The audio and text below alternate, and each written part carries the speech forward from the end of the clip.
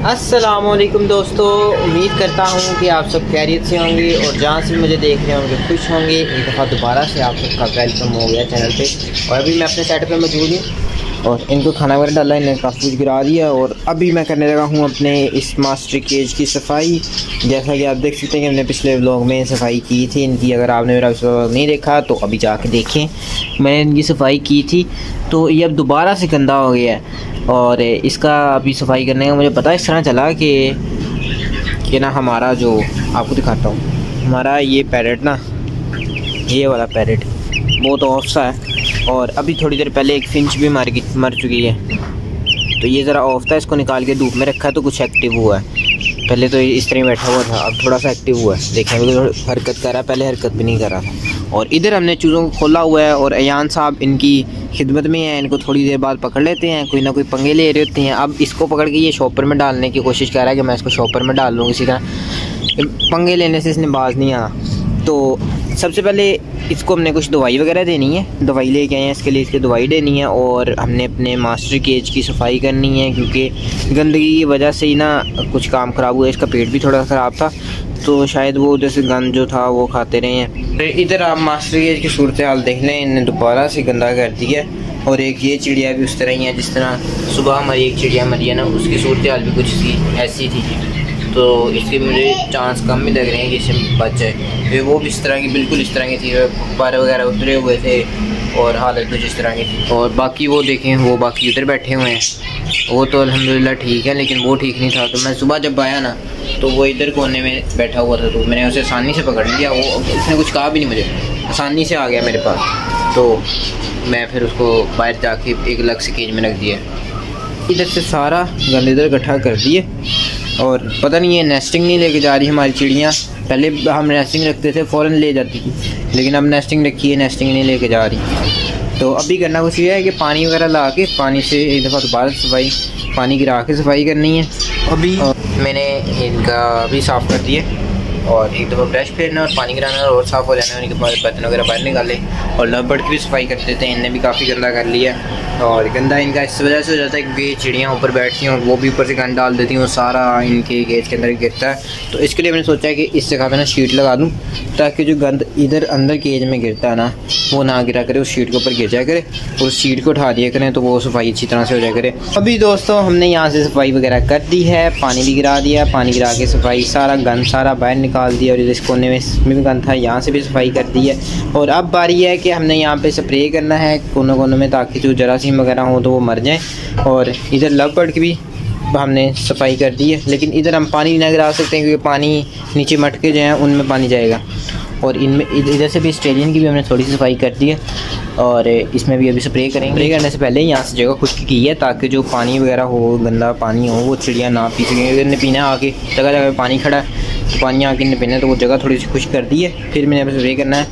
तो ये है हमारा फर्नाइल वाला स्प्रे तो आप भी इस तरह अपने केज के अंदर स्प्रे कर सकते हैं, ताकि जो जरासीम है, वो मर जाए और फर्नाइल की अमाउंट कम रखें और पानी थोड़ा ज़्यादा डालें और हल्का हल्का सा किनारे किनारों पर स्प्रे करें, पूरा ना करें, ताकि अगर आप प्योर फर्नाइल डालेंगे तो चिड़ियाँ जो है ना, वो पी के मर भी सकती हैं। तो इसकी क्वांटिटी ज़रा ना इसको डाइल्यूट करके फ़नाइल को पानी में डाल के डाइल्यूट करके फिर डालें। और किनारों किनारों पे करें ताकि ना जरासीम जो किनारों पे छुपे होते हैं या ज़मीन छोटी छोटी जगह पे छुपे होते हैं, वो मर जाएँ। दूसरी बहुत ज़रूरी बात ये कि जब भी आपने इस तरह स्प्रे करना हो अपने केज के अंदर तो इनके सबसे पहले इनके जो खाने वाले बर्तन हैं पानी वाले बर्तन हैं, वो सारे बर्तन बाहर निकालने केज को खाली कर लें ताकि जो स्प्रे है वो इनकी खुराक में और पानी में ना डले। तो सबसे पहले आप बर्तन निकाल लें और फिर स्प्रे करें। मुझे लगा था कि हमारे जो केज है, उसमें कोई इन्फेक्शन वगैरह या कोई गंदगी की वजह से हमारे जो परिंदे हैं, वो मरे हैं। तो उसके लिए मैंने ये पानी रखा है, ये इनके लिए पानी रखा है और इसमें दवाई डाली है, इसमें मैंने मेट्रोडीन सिरप डाला है, ताकि जो इनकी पेट की इन्फेक्शन वगैरह हो, बच जाए और वो थम जाए, इनकी जो इन्फेक्शन है वो थम जाए। आपके परिंदे वगैरह बीमार हैं तो उनके लिए आप ये इस्तेमाल कर सकते हैं। और करना कुछ यूँ है, दवाई रखने का तरीका ये है कि आपने रात को जाते हुए पानी वाला बर्तन निकाल जाना है और सुबह को आके साफ़ पानी डालना और साथ दवाई डाल देनी थोड़ी सी ताकि सुबह सुबह जब वो प्यासे हों तो वो पानी ज़्यादा पियेंगे। अगर आप सुबह आके पानी सारी रात पड़ा रहा है और आप आगे पानी डालेंगे तो वो इतने पानी पियेंगे नहीं, सारे परिंदे आके पानी नहीं पियेंगे सुबह जब आप आके पानी डालेंगे, पानी के अंदर दवाई होगी तो वो आके शौक से पियेंगे, क्योंकि वो सारी रात प्यासे होंगे। तो आपने करना ये है कि रात को इनके बर्तन लाजमी निकालते नहीं अगर आपने सुबह इनको दवाई डालनी है। और इधर आप देख सकते हैं कि जिस हमने बजी को बाहर निकाला था, जिसकी सुबह तबीयत नहीं ठीक थी तो इसको भी हमने उस वक्त से लेके अब तक धूप में रखा हुआ तो अब ये थोड़ा सा एक्टिव हो गया और पहले तो एक जगह बैठा हुआ था स्टिल था, लेकिन अब थोड़ा सा केज को लाएँ तो हरकत करता है और अभी उड़ भी रहा था थोड़ा सा। तो अब देखें, ये देखें एक्टिव हो गया पहले उड़ भी नहीं रहा था। दवाई फिर भी देंगे हम। ताकि कोई और अभी इन्फेक्शन अंदर हो इसके अंदर भी मसला वगैरह हो या इसको ठंड लगी हो तो वो बच जाए इससे। Approximately 10 hours later. शाम का वक्त हो चुका है और इनको खाना वगैरह डालना आया हूँ इस वक्त। जिस तरह कि आपको पता है कि मैं इस वक्त आता हूँ इन्हें खाना वगैरह डालने। और फिर इनके आगे मैं ये बंद करके सेव करके फिर जाता हूँ। तो अभी छोटा सा काम हमने ये करना है कि हमारे पास ये केज था, जिसको हमने बाहर निकाला हुआ था पहले।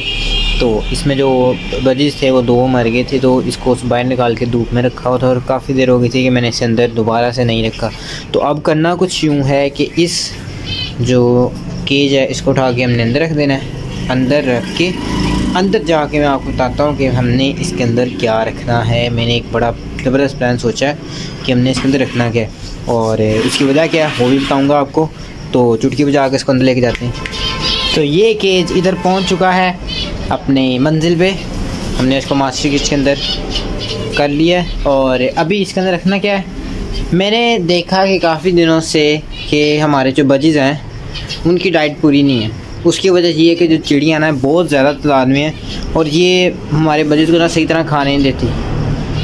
वो हमेशा इस तरह लगता है कि भूखे हैं और उनकी खुराक भी नहीं पूरी होती क्योंकि सारी चिड़ियाँ जो है ना वो खाने के ऊपर देख सकते हैं, सारी चिड़ियाँ खाने के ऊपर बैठी हैं।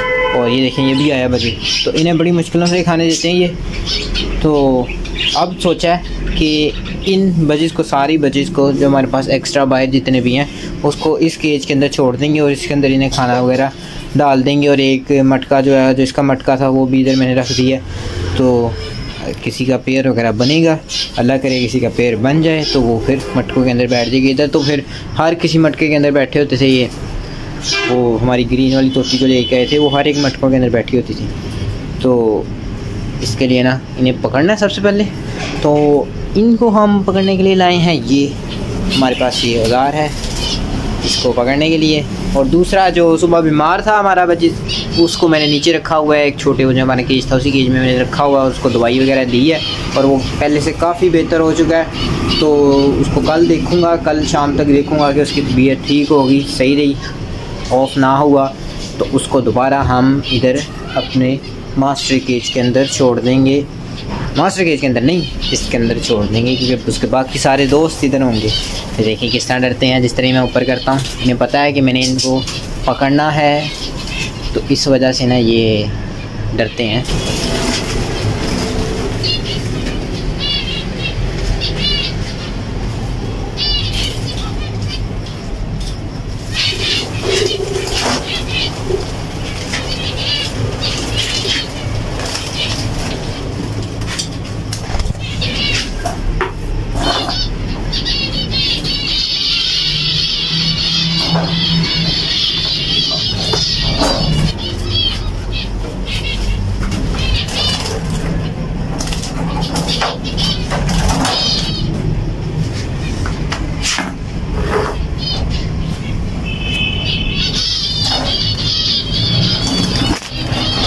पाँच पकड़ लिए, वो काफ़ी रह गया, उसको पकड़ना बस।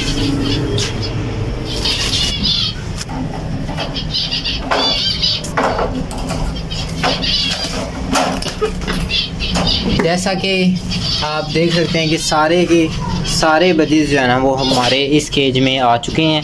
छः थे और टोटल छः यहाँ पे आ गए हैं। तो अभी इनके लिए खाना वगैरह डालना है, पानी रखना है, दाना रखना है, ताकि ये उनसे इनकी डाइट कंप्लीट रह सके जिस मकसद के लिए हमने इन्हें सबसे पहले अलग किया वो काम करना है क्योंकि हमारी फिंचेस तो खाने नहीं देती इन्हें। ने तो पानी रखा था सुबह तो अब शाम के टाइम ये ये चावल खा लेंगी ना तो थोड़ी देर बाद आके मैं ये पानी उठा लूँगा और फिर दोबारा सुबह पानी डाल दूँगा वही मेडिसिन वाला ताकि जिसका भी पेट वगैरह ख़राब हो तो वो ठीक हो जाए। दो तीन दिन तक इन्हें दवाई देंगे तो इनका पेट ठीक हो जाएगा इन कि हमने इन्हें दाना और पानी भी रख दिया है इनके लिए। और सारे इसकी जगह भी चेंज कर दी साइड पे रख दी है और अब इधर फिंचेस चावल खा रही हैं। अब थोड़े से चावल निकाल के इन्हें भी डालते हैं, ये भी चावल खा लें थोड़े थोड़े से। तो यही था मेरा आज का व्लॉग उम्मीद करता हूँ कि आपको पसंद आया होगा। अगर तो आपको मेरा व्लॉग पसंद आया है तो इस वीडियो को लाइक कर दें और मेरे चैनल पेट स्कॉट को सब्सक्राइब भी कर दें। इंशाल्लाह मुलाकात होती है अगले व्लॉग में। अगले व्लॉग तक के लिए इजाज़त दीजिए। अल्लाह हाफिज़।